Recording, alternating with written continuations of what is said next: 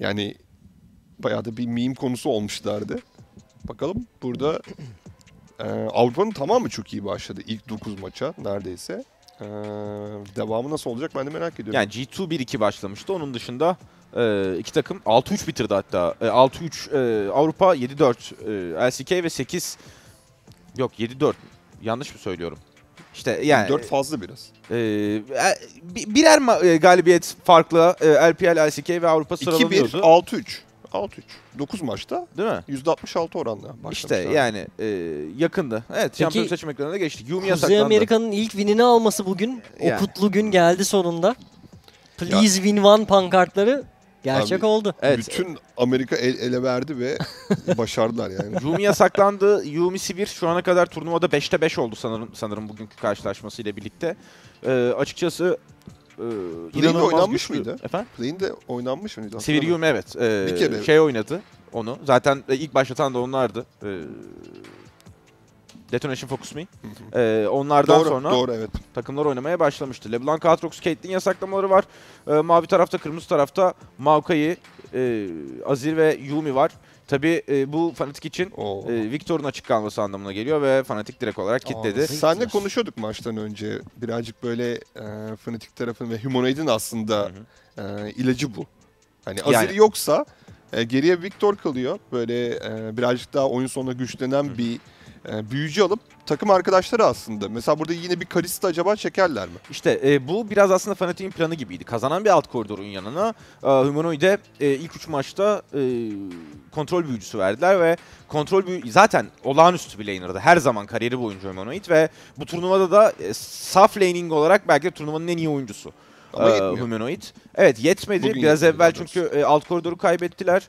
E, Faker inanılmaz da alamadı. ee, Yani Azir, Azir veya e, Victor'a gidememişti. Akali'ye gitmişti. Scout da az evvel harika bir Akali performans ortaya koyduktan sonra bir kere daha e, bir kontrol büyücüsünün karşısında e, Akali oynayacak. Yanına da Sejuani'yi tercih ettiler. Humanoid için güzel senaryo. Yine yani ilk vuruş falan başlayıp ya da işte eğriyle hangisini yapmak istiyorsa hem koridor Evet, sev- dövebilir. sevdiği noktada. Sevdiği noktada kesinlikle. Aynen. E, Humanoid. Burada önemli olan şey e, alt koridorunun nasıl verim vereceği ve yine Razork bir Poppy görevinde. E, ondan bu turnuvada en verim aldıkları şampiyon belki de. Yani her ne kadar e, çok iyi bir turnuva geçirmiyor Hmm. olsa da e, ona ondan verim alabildikleri nadir şampiyonlardan bir tanesi. Burada Poppy. yalnız desteğe çok bağımlı olacaklar gibi bu durumda. Yani ya bakıyorum şu an Aphelios artı Victor seçildi. Erken oyun yani eğer bir nişancı pozisyonda da sağlam bir e, seçim gelirse EDG'den erken oyun neredeyse sıfır olacak Fnatic tarafında. Evet burada Aphelios koridorunu neyle destekleyecekleri çok mühim çünkü Aphelios koridor, Aphe- Aphelios'a koridor kazanabiliyorsunuz ve Fiora aynı zamanda scale de olabiliyorsunuz. Kirby Fiora bunu daha öncesinde de çok fazla gördük. Ee, özellikle Wunder'in daha çok zayıf taraf oynadığını e, bu turnuva genelinde e, göz önünde bulundurduğumuz zaman ve Fiora'nın karşısına gelebilecek şampiyonları düşündüğümüzde en iyi ihtimaline gelebilir Cannon'lar gibi şampiyonlar, menzilli şampiyonlar. Onlara karşı dahi Fiora çok rahatlıkla hayatta kalabiliyor. Ee, çok uzun zamandır gördüğünüz bir şey değil ama kör olarak tercih edilebilir bir noktada e, Fiora ki e, isterse burada EDG karşısına şampiyon da yasaklayabilir rahatlıkla ama onlar desteğe gidiyorlar Evet. yasaklama noktasında. Ya içeri girecekler. Yakıncı şampiyonlardan oluşuyor şu an line-up. O yüzden Renata yasaklaması geldi. Renata da birazcık geç keşfedildi bu turnuvada. Play'inde hiç yoktu ortalıkta. Grup aşamasında da birazcık böyle çekingen yaklaşıyordu takımlar ama nihayetinde önemi artmaya başladı. Onu da görmüş olduk. Lucian yasaklaması. Direkt Viper'a gelen. Alt koridorda ezilmek istemiyorlar. Çünkü orada da ezilirlerse zaten yukarıya dediğin gibi Fiora çekildi. O zaman da hiçbir koridor yani evet orta koridorda belki e, Victor'la belli bir noktaya kadar para falan kasabileceksiniz ama Evet bu kadar iyi scale olan bir e, kompozisyonda ve bu kadar düzenli ve devamlı hasarı olan e, bir kompozisyona karşı önlerinde bir de e, Ornn gibi hem takım savaşı başlatma mekaniği hem de e, hem güvenli hem de aynı zamanda e, iyi scale olan bir şampiyon ve diğer şampiyonları da daha fazla güçlendiren bir şampiyonu istemedi. İyidici tarafı halbuki Fiora'nın iyi bir e, eşleşmesi var Ornn'a karşı. E, Varus gitti. E, yine ve e, Aphelos'a karşı güçlü. Hatta hemen hemen bütün şampiyonlara karşı güçlü. Kalista açık bakalım. Viper e, T1'a karşı Kalista oynayarak kaybetmişlerdi. E, Kalista o rakipten almak için bu mi? biraz da. Yalnız hala ellerinde Tam Kench var. E, Fanatic'in tercih edebilecekleri. Her ne kadar Tam Kench Thresh'e karşı çok zorlanmasa da. E, özür dilerim Thresh Tam Kench'e karşı çok zorlanmasa da. İşte bu sefer yani Tam Kench'te alırlarsa iyice geriye yaslanacaklar. Bence burada ekstra bir şey ihtiyaç var gibi ya. E, bu da bekleniyordu. E, ikinci aslında e, Ha, Nautilus zayıf taraf tercihi ve Nautilus geldi Thresh'e karşı. Daha koruyucu bir destek beklerdim açıkçası Aphelios'un yanında. Şeye ihtiyaçları var. Ee, sadece Gragas'ın yetenek kitiyle olmaz. Orada bir içeri Savaş girecek başlangıcı başlangıç. Hatta belki hani ayıklama noktasında da iş yapabilir. Jinx Aphelios'u itebiliyor. Evet. Daha iyi scale oluyor. E, Ve daha basit zaman. oynaması. Evet yanında da Thresh var. İyi partnerlerinden bir tanesi. Hem kombosuyla birlikte, e, trap kombosuyla birlikte e, güçlü bir koridor oluşturabilirsiniz. Hem de aynı zamanda ona güvenlik sağlıyor. E, yine aslında teknik koridorlara kontra tercihlerde bulunarak e, EDG ne oyuna giriyor. Her ne kadar güçlü bir 5v5 şey olsa da fanatik tarafının e, Çok geç EDG'nin güçleniyor gibi. ee, hem birazcık geç güçlenme durumu söz konusu hem de oyun alanı e, sağlıyor EDG'ye kesinlikle. Çok rahatsız eden e, bir kompozisyon değil bu EDG'nin bence fanatik kompozisyonu. E, harita özellikle birazcık daha açılırsa erken aşamalarda e, birazcık istedikleri noktaya oyunu getirebilirse EDG oyunu e, çok ciddi bir snowball'a götürebilecek bir kompozisyon bu. Bakalım. Oyun Peki- uzarsa da çok şikayetçi olmazlar bu arada. Yani yan koridorda çünkü hem Akali hem Evet. Fiore'yi durdurmak çok güç olacak. Evet. Fnatic'in nasıl bir oyun tarzı izlemesi lazım o zaman? Onlar bugün biraz çalkantılılar ve onlar için kader maçı olmasından bahsediyoruz. Dolayısıyla nasıl bir strateji uygulamalılar, nasıl bir erken oyun geçirmeliler ki EDG'nin bu kompozisyona karşı başarılı olsunlar? Vallahi ellerindeki kompozisyon daha fazla takım savaşı yapmayı seven bir kompozisyon. 2v2, 3v3'lerden falan ziyade. Ee, ve bu noktada haritada ki bunu iyi yaptıklarını bence e, daha öncesinde gördük. Ee, harita görevlerine gitmek ve erken aşamalarda e, savaşması daha kolay bir kompozisyon çünkü 6. seviye itibarıyla bence. E, ellerindeki e, bazı tercihlerle birlikte. E, ki Nautilus bu konuda çok ciddi avantaj getiriyor zaten 6. seviye itibarıyla. O yüzden e, alamet e, özellikle orada çıkabilecek potansiyel savaş çok değerli olur. E, oralardan birazcık üstünlük yakalayabilirse zaten 5v5'leri genel itibariyle daha kuvvetli bir kompozisyon.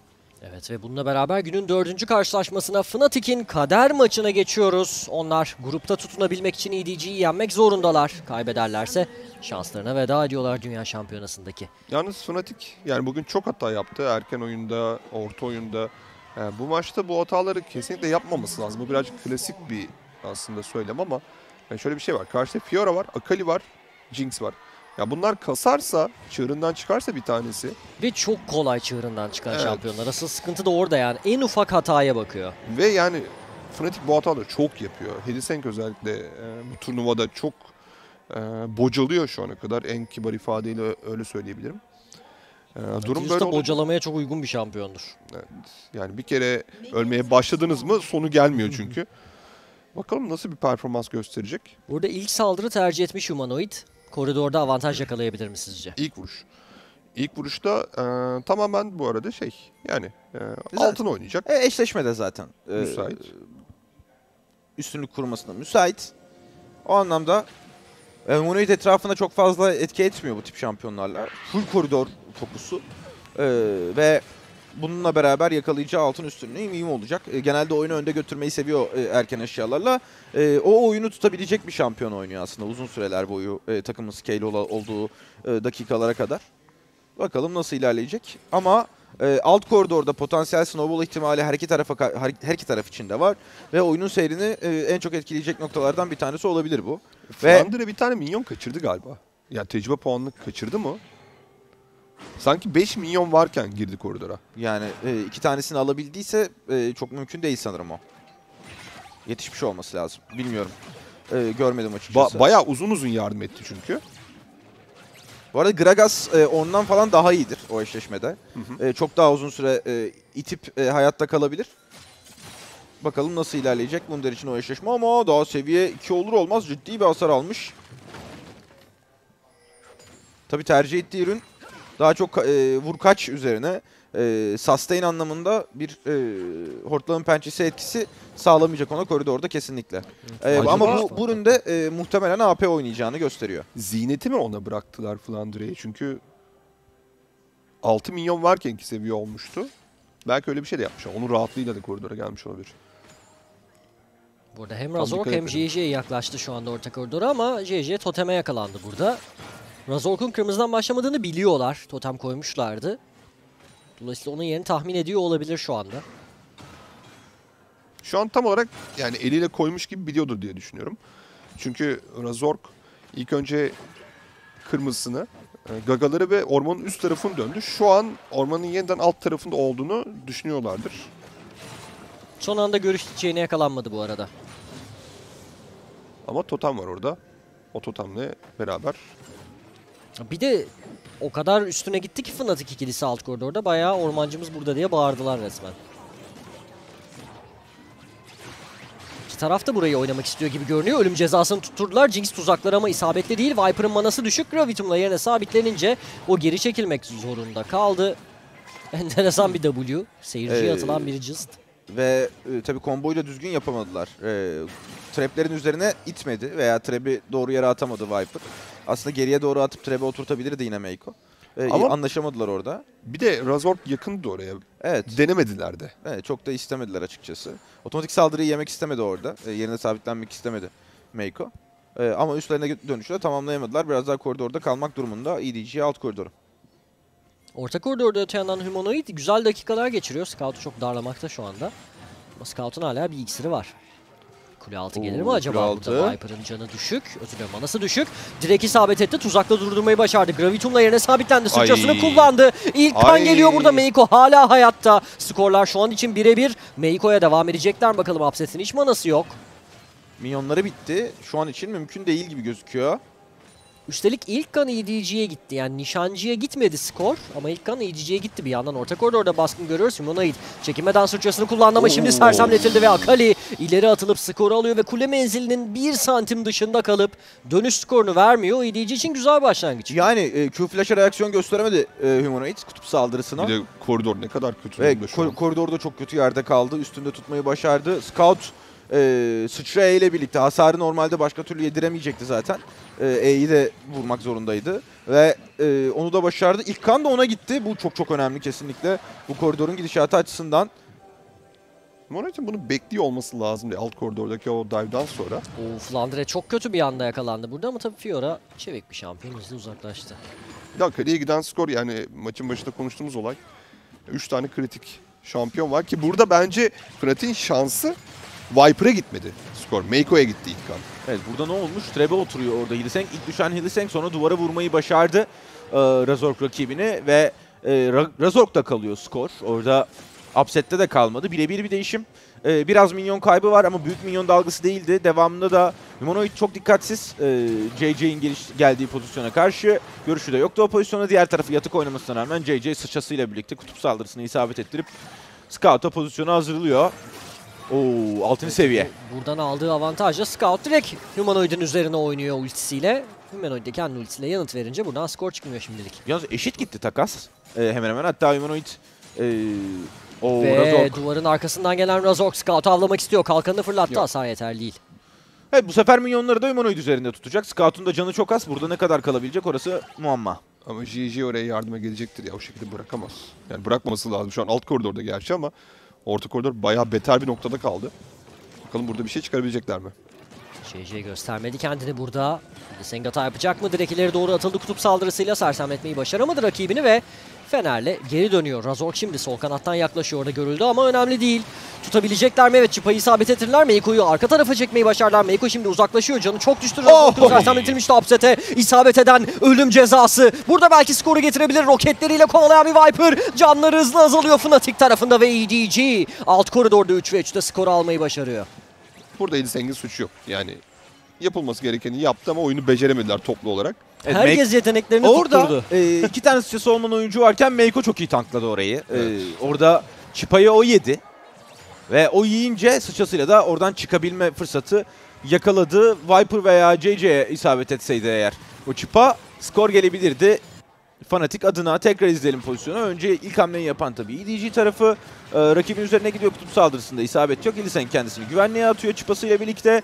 Fakat çıpa bekleme süresi çok yüksek değil. İşte burada Önüne geçiyor. Evet önüne geçiyor Meiko çünkü sıçrası var. Gerçekten çok akıllı ve devamında Razork kaçmak durumunda. Fakat upset'e değen burada bir tane e, ölüm cezası var. Arındırını ve sıçrasını kaybediyor ve devamında çıkan skor var. Liseng burada Scout'u çok rahatsız etmiş ama bir şey çıkmayacak. Scout'u bayağı kamplıyorlar şu an. Bir Razork geldi bir şimdi Hilsenk geldi.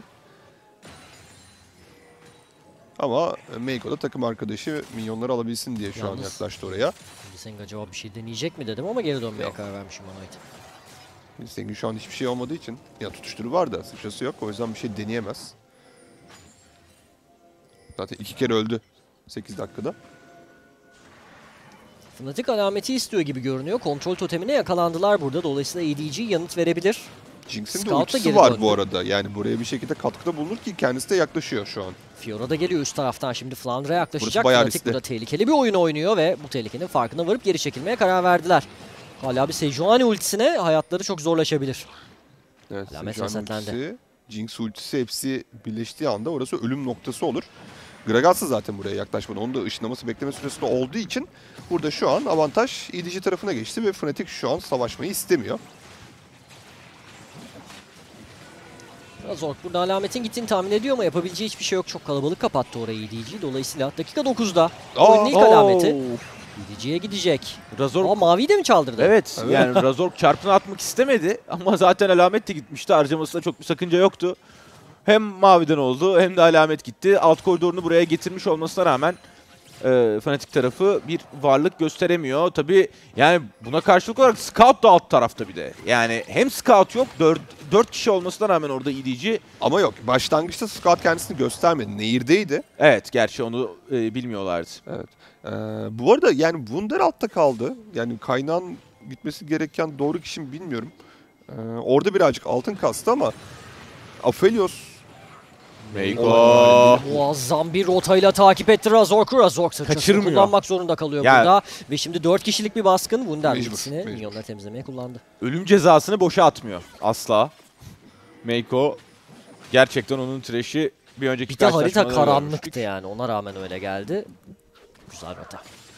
Peki Fnatic'in kader maçı için nasıl bir başlangıç diyorsunuz? 10 dakikada 1000 altın gerideler. Yani. Şimdi dağcıları gidebilir. Alamet yok falan sıkıntı sanki. Sıkıntı kesinlikle. Ya erken aşamada bir şey denediler. Eğer oradan biraz temiz çıkabilselerdi ve upset'e verebilselerdi skoru okey derdim. Ama ya oradan temiz çıkılmadı. Bu arada Victor önünde Akalin. Onu da hatırlatalım. 300 altınlık bir üstünlüğü var. Her ne kadar bir tane skor olsa Scout'un üzerinde. 20 milyon fena değil. Ama işte ne kadar etkin oluyor. Tabii Humanoid'in e, main olduğu için çok da kesin konuşamıyorum ama e, orta oyundan itibaren haritayı böyle çok yayıp işte Fiora bir yanda, Akali bir yanda ona nasıl karşı duracaklar? Bakalım. Ya ikisi de aslında minyon dalganı temizleyebilecek şamp. Hem Gragas, Gragas da çünkü burada yetenek gücü gidiyor. E Victor da en kötü kuleye kucaklayıp takılabilirler ama rotasyonlar sırasında yakalanmaları çok büyük sıkıntı olur. Liseng tespit edildi. Şimdi burada JJ'yi takip ediyor. Duvar açıp atıp uzaklaştı Liseng. Devamını getirmeyecekler. Evet sıçrası da vardı zaten. O yüzden ona çok fazla şey harcamak istemediler. Şimdi Razork da buraya doğru yaklaşıyor. Biraz Siliseng o yüzden hal ve hareketlerini değiştirdi aslında. E, JJ de hala burada yalnız. Razork herhangi bir şey isterse. E, totemin yerinden de haberdarlar e, nehir tarafında. Bir tane işaret geldi. Orta koridora yakın toteme.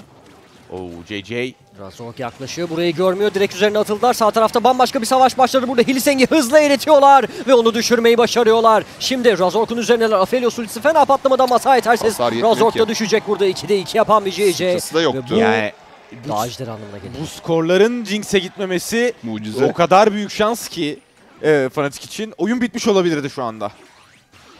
Ama bu tarz maçlarda öne geçen Sejuani'lerin de gerçekten Tabii, tabii. ölümsüz olduğunu gördük. Ki Dolayısıyla Ne kadar daha fazla tankladığını da gördük bu arada. ve şimdi bu barikat altında da Viper'ı bırakırlar diye tahmin ediyorum. Evet. Dolayısıyla Fnatic için çanlar çalmaya başladı bile dakika 12'de. Ee, burada tempoyu, tempo istediler altından ziyade. O yüzden e, hemen üst, üstüne dönüyor e, EDG. Kalıp daha fazla en azından bir tane daha barikat alabilirlerdi. Ejder alabilirlerdi isteseler ama e, tempoya daha fazla önem verdiler. Pozisyonu izleyelim. JJ e, burada görülüyor. Görüldüğü anda hemen rakibin üzerine gidiyor. E, Razork onu yakalıyor belki ama JJ çok tanklıyor. O esnada e, Hylissang ölmüş bile. E, Viper Meiko ikilisine ve ultisini tutuyordu zaten JJ o esnada. Yani JJ'in daha yarı canı falan gitmiş Evet. orada. Evet. Ya Archie Shock'la oynadığı için ve onu düşürecek herhangi bir şey olmadığı için o ekstra tanklı. Ve Nautilus da aynı şekilde artık şoksuz oynandığı için Hakikaten hiçbir şey tanklayamıyor. Direkt ekmek. Bu biraz ezber oldu bence. Evet. Ee, bu Artichoke işi. E tabi özür dilerim. E, buzul takviye işi. E, Natürs'ün bence kesinlikle Artichoke'a ihtiyacı var. Durdurdu dönüşü. Bu da ejder noktasında kontrol demek. Ejderin belki de rahat bir şekilde alınmasını sağlayacak bu geri dönüşü durdurması. Sejuani'deki eşyaya bakalım. Müthiş bitmiş. Yani erkenden biten bir ihtişamlı eşya. Herkes ihtişamlı eşyalarını bitirmiş Meiko dışında. Diğer tarafta sadece bir tane Luden var. Gragas'tan önce bitirebilir belki. O da gerçi bir sürü küçük küçük şey almış ama. Orta koridorda baskın denemesi görüyoruz Scout'a ama Yok. Akali'yi yakalamak öyle kolay değil ve dağ ejderi dakika 14'te EDG'ye gidiyor. Ve Verimli bir dağ ejderi bu. bu kadar kasmış bir Sejuani ile. CC'yi biraz kovalıyorlar ama işte ne kadar tank olduğundan bahsetmiştik. Ay, Canı eyvah! azalmadı resmen ve Sejuani ultisinin üzerine gelen Nefis. ölüm cezası. Hilliseng'in anında ölümüyle sonuçlanacak. Dakika 14'te 4 kez öldü o. Scout. Oo, R1'i Razork'un W'ye gitti. Gidiyor bu arada. Roket kemerini de kullandı. Hasar yeterli mi acaba? Shuriken'ini attı. Onunla beraber uçtu. Poppy ultisi yeterli değil onu kurtarmak için. Sis perdesinin içinde. Ay, Çok güzel Upset. kafa attı. Upset orada Jinx roketine ve Razork'un hayatını Humanoid kurtardı. geldi. Savaşın devamını istiyorlar. Güzel bir hasarı var. Scout canını kurtarmak için Viper geldi uzaklaşıyor. Gigi hala çok tank. Devam edemeyecekler. Fnatic çok geride artık. Yani-. Desteği yokken kendisi destek oynadı orada. Valla orada CC'ye inandılar ama Iliseng yine kağıt gibi eridi. Ve çok iyi komboladılar. Ee, Sejuani ultisi üzerine e, trash kombosunu ve direkt olarak düşüyor Iliseng. 0-4'e geldi. Ee, en çok natürü söylürücüler için bizim gibi pozitif bir haber. Biraz daha seçilse kesinlikle kazanırdı. Yani burada deniyor ama Thresh fenerine zamanda tepki veremiyor Liseng ve duvara gidiyor oradaki çıpa. Sonrasında çok önemli aslında burada ultisinin birinci kullanımını oradaki Sağlam. sağlam duruşla durdurduğu için Scott Bir tane Q kaçmış bu arada Hı hı, en kaçtı. sonda da. Son anda çok güzel bir öne adım atmış. Yoksa Razork'la gidiyordu. Ve altın farkı da 3000'e geçti. Razork orada melekler kurdu ya. Sonradan Jinx ultisi geliyor onda upset tanklıyor falan böyle. E, ikinci alamette artık de. şeylere başladı böyle daha basit şeylerle işte gidip Grom tanklayıp takım böyle faydam olsun falan. Öbür türlü olmadı çünkü çok. İkinci alamette de EDG söz sahibi ve çok rahat bir şekilde onu da e, alacaklar gibi gözüküyor. Buraya yaklaşan var mı diye bakıyorum. Razork o tarafta. E, Humanoid ile Hylissang de o tarafta. Ama evet EDG de rakiplerinin kaybolduğunu, oraya gelebileceğini görünce riske atmadı. Gragas'ı görmüyorlardı. Evet. Fiora'nın karşısından Şimdi minyonlar yaklaşınca. itilsin ikinci kuleye kadar. Wunder'i orada görsünler. Muhtemelen tekrar o tarafa doğru hareketleneceklerdir. Çünkü o esnada orta koridor ve üst kor- koridor kuleleri de, e, özür dilerim, minyonları da itilecek. Ki hatta bu biraz fazla safe değil miydi? Çünkü alt koridoru Yok. bitiren bir Flandre vardı falan. Her türlü avantajlı çıkarlar. Şöyle, sanki. Sejuani üzerinde ekstra altın var. 400 altın Evet. kadar. Orada yapılacak bir savaşta bir anda işte ya Aphelios'a iki tane skor gittiğini düşün. Çok zora sokarlar. Üzülmektense e, garanti almakta Aynen. yarar var. Yani o e, 30 saniye daha geç al- aldılar alameti Temkinli belki. olmak pişman olmaktan iyidir. Aynen öyle. Ben nasıl Sevdiğim bir çeviririm, sözdür. e, İngilizcesini nasıl Türkçe'ye çeviririm diye düşünürken sen şey yaptın. Ben önceden çevirip geldim. Ya deyin işte better safe'den sorry işte bitti gitti. Olmaz. Ay kardeşim bak mis gibi çeviri yaptım burada lütfen. Evet. Orta koridorda lamet kullanıldı bu arada yarı canlı kuleye. Anında düşecek ve e, üst koridordaki kuleyi de yıkarsa şimdi Scout bütün dış kuleleri düşmüş olacak Fnatic'in dakika 17'de. Burada Hexercha ile gelen bir ormancı var orada. Yarı cana indirmeyi başardılar Viper'ı. Poppy ultisi de kullanıldı. Upset takip etmek istiyor ama Razork çok tek başına oynuyor burada ve kendi Flandre canı şimdi geldi. çok düştü. O düşecek mi acaba? Hayatta kalabilecek mi? Hayır. Hylissang de oraya geldi ama ne amaçla geldi acaba? İki tane skor EDG'ye gidiyor. Duvardan sıçrayla geçti. Ee, içeriye gireyim ben de hani e, Viper'ı düşürürüz orada diye yaklaşamadı bile. Razork çok e, duvara vurmasına rağmen Sejuani'nin bulunduğu pozisyon hiçbir şekilde Upset'i oraya yaklaştırmadı ve hamle bir kez daha sonuçsuz kalıyor. Altın farkı 5500 dolaylarında ve EDG artık maçı koparmak ve Fnatic'i hava limanına doğru göndermek üzere. Evet. Tatsız yani gayet güzel başlamıştı her şey onlar için. T1'i yendikten sonra özellikle bayağı hype olmuştu herkes ama şu an ya burada bir şeye bakmak istiyorum. Ya güzel başlatıyor Razork da çok tek başına. Hiç yardım gelmiyor takım arkadaşlarından. Gelemiyor. Yani bu pozisyonda Gragas'ın TP'si var, ışınlanı var. Victor'ın ışınlanı var. Yani şu pozisyonu kullanmayacaksan mesela neyi kullanacaksın? Birazcık kopuk Fnatic şu pozisyonda.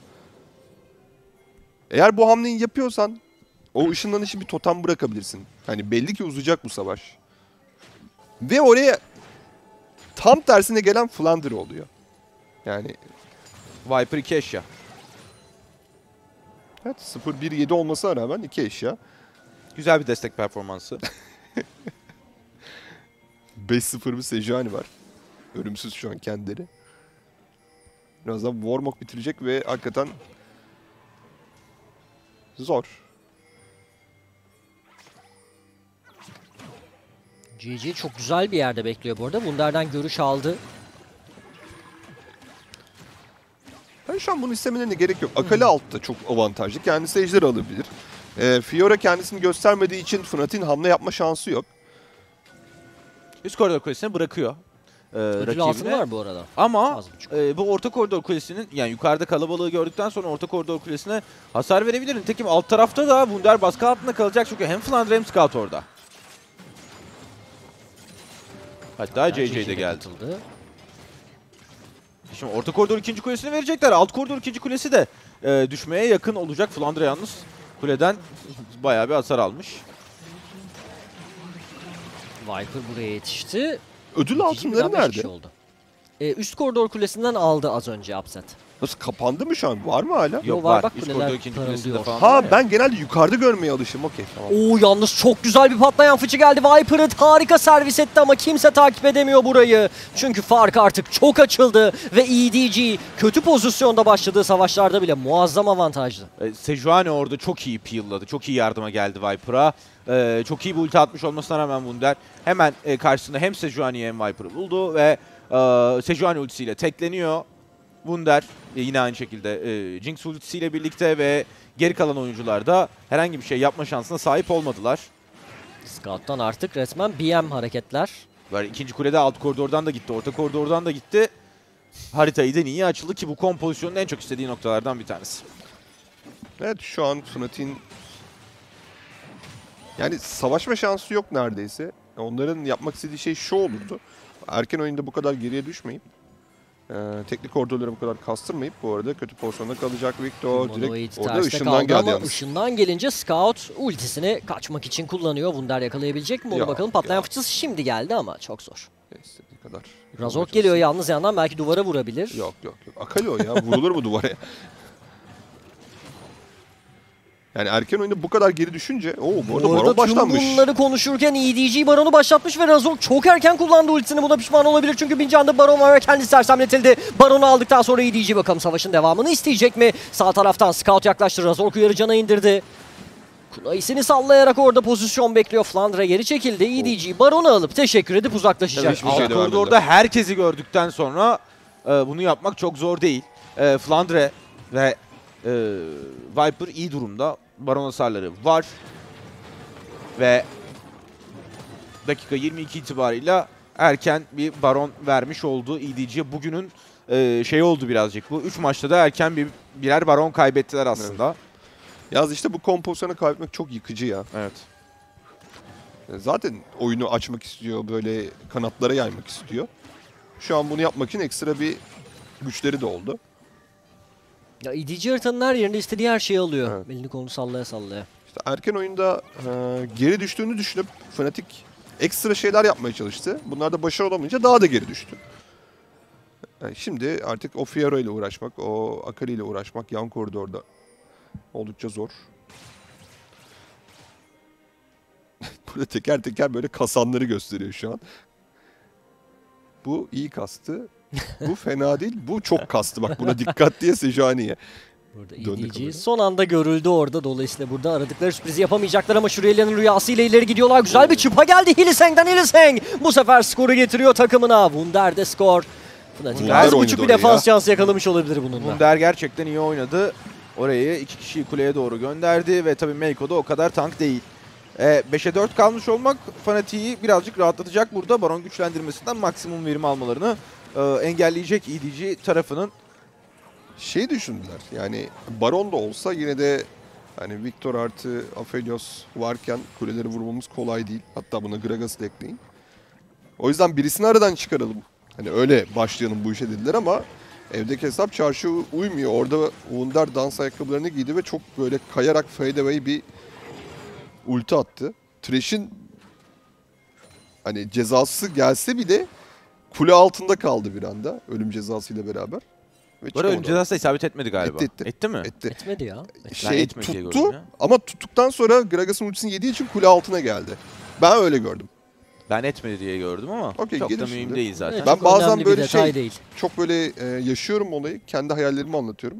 Hiç alakası olmuyor. Olabiliyor yani. Evet, e, Ebedi'ye çok yakın Viper bu esnada. Bu arada altın farkını altın farkı büyük. Fakat altın farkının e, yarısı e, JJ üzerinde. Yani şu an hala Humanoid Scout'tan daha çok altına sahip. Nişancılar ve ormancılar üzerinde ciddi farklar var. Üst koridorlar arasında daha minimal bir fark var. E, ve ya bu bir şans olabilir. Viper Mega ne kadar güzel. Kardeş kardeş oynamışlar bak. 1-1-7. Destek nişancı yok değil mi? Alt koridorda iki dost Evet. sadece.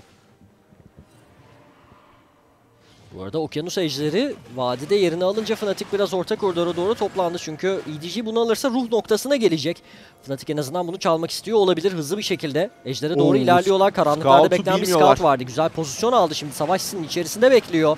Sanırım görünmeden geçmeyi başardı. Fnatic yarı cana indirdi. Arkaya güzel Oo, bir ışınlanma upset! Çok kötü bir yerde. Poppy ultisi onu hayata tutundurdu ve Wunder'ın ultisinin yardımıyla Upset harika sıyrılıyordu ama her köşede başka bir tehlike ve onun sonunu getiriyorlar. Geriye kalan üyeleri Ay, avlamaksa. EDG için çok kolay. Dokunabildikleri herkesi kesiyorlar burada ve Fnatic'i okyanus ejderinden kovduktan sonra skorları da 1-1 alıyorlar. Sadece Razork hayatta. Alt taraftan bir inhibitor çıkabilir bunun karşılığında.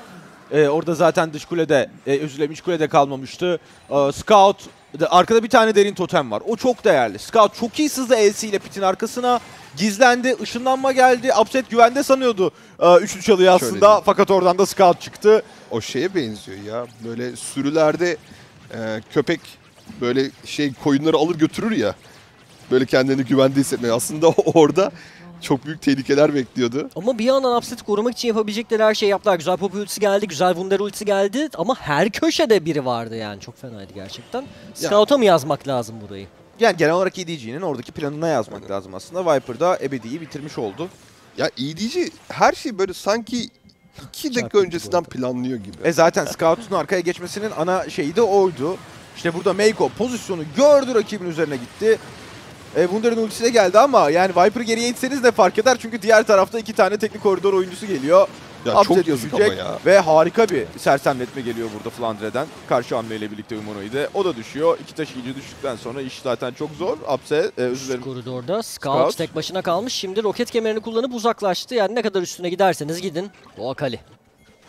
Evet. Daha sıçrası duruyor o yüzden. Oo. Ve hemen iadeyi ziyaret gelmiş. Sıçrasıyla sıyrıldı Razork ve gidin bakalım buradan diye Meiko ile JJ'yi uzaklara yolladı. Gragas ultisi de aynı amaca hizmet edecek de bu daha iyi. Daha böyle uzağa attı. Ama iki ulti de kullanılmış oldu bu şekilde.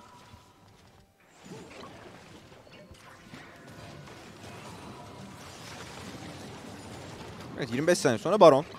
Ee, ve yine Baron tarafında mutlak görüşe sahip. Ee, EDG tarafı, bütün kırmızı tarafta. Yani en derin totemin nerede olduğunu görüyoruz. Pek bir derinliği olmadığını, oldukça sığ bir e, mavi orman olduğunu fanatik tarafı için söyleyebiliriz. Zinet Ee, nereye gitti? Baron Pit'in içine mi attı o Zinet'i? Yo. Görmedim açıkçası. Şu an bir ziynetleri de yok ve e, EDG için çok kolay bir Baron olacak. Buraya yürüme şansı pek yok fanatiğin. Evet onlar da denemeyecekler bile. Tahmin ediyorlardır diye düşünüyorum ama yapabilecekleri gerçekten hiçbir şey, yok. Ve Baron EDG'ye gidecek. Maçın ikinci Baronu. Altın farkı da 10 bine dayandı böylece.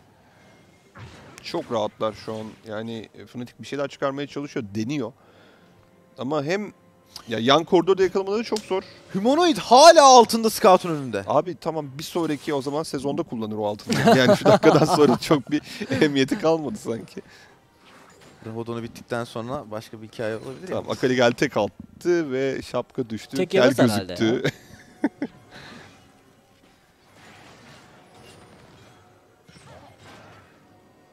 Üst koridorda Baron'la minyonlarla yaklaşan bir EDG var şimdi.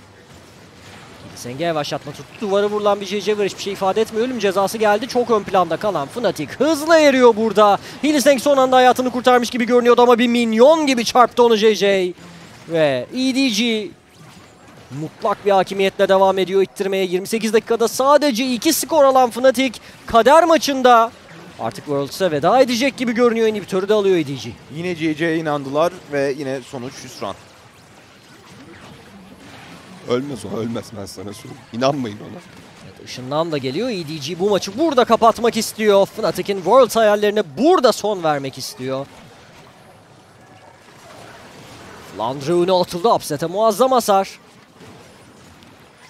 Scout alt taraftan inhibitörü ittirmiş. Ve Fnatic iki Nexus kulesinin altına hapsolmuş durumda bir şeyler deniyor ama ne yeterli hasar, ne yeterli tanklık, ne yeterli harita kontrolü var. Son kuleleri de yıkılıyor EDG tarafından. Garanti. Ve Fnatic yavaş ve sakin bir sonla burada son şansına veda ediyor gibi görünüyor. CC burada çıpa tuttu ama ne ifade eder karşında ölüm cezası. Poppy ultisi kullanıldı hiçbir şey ifade etmiyor. Acayip bir hasar var Viper'da. Ölüm cezası Iliseng'in sonu oluyor. Wunder kronometreden çıktığında onu kötü bir son bekliyor. Ketse. Ve EDG dördüncü bitti. galibiyetini alıyor. Rabadon bitti. Biraz geç bitti. bir dakika önce bitse başka bir hikaye olabilirdi. Ve son pozisyonda yine JJ'ye yapılan denemenin e, sonucunda kaybedilen bir savaşlı olması da e, biraz manidar. Humanoid harika bir turnuva geçirdi gerçekten.